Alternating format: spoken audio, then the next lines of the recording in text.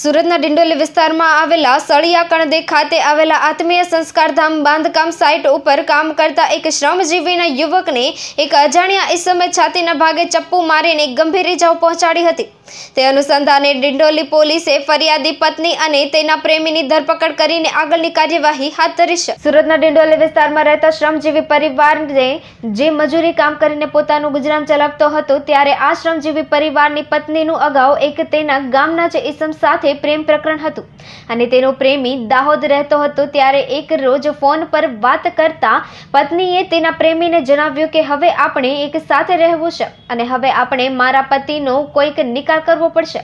અને ત્યારબાદ પ્રેમિકાના કહેવા પ્રમાણે પ્રેમી અને પ્રેમિકાએ બનાવેલા પ્લાન મુજબ પ્રેમીને સુરત ખાતે બોલાવીને તેની બાજુમાં જ ઘરમાં આશરો આપ્યો હતો અને તે દિવસની રાહ જોયા બાદ બીજા દિવસે પ્રેમિકાએ તેના પ્રેમીને પકડ જેવું સાધન આપીને તેને સવારે દરવાજા પર બાંધેલા તાર તોડીને ઘરમાં આવવાનું કહ્યું હતું. આ પ્લાન મુજબ જ્યારે સવારે પ્રેમી પકડ વડે તેના ઘરના દરવાજાનો તાર કાપીને અંદર આવ્યો તો એને સૌથી પહેલા પોતાની પ્રેમિકાને ઊંઘમાંથી જગાડી અને તેના પતિને પ્રેમીએ હાથમાં લીધેલી ચપ્પુ વડે તેના છાતીના ભાગે એક ઘા મારીને ગંભીર ઈજા કરી દીધેલી હતી.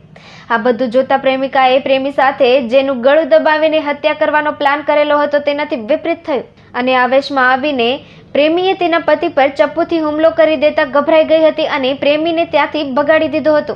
આ તમામ ઘટનામાં હોબાળો થતા આજુબાજુના લોકો જાગી ગયા હતા અને તાત્કાલિક પોલીસને બોલાવીને ઈજા પામનારને હોસ્પિટલ ખાતે ખસેડવામાં આવ્યો હતો. અને ત્યારબાદ ડિંડોલી પોલીસે પ્રેમી અને ઈજા પામનારની પત્નીની ધરપકડ કરીને આગળની કાર્યવાહી હાથ ધરવામાં આવી છે. Arvind Rathod, Zee TV news, Surat.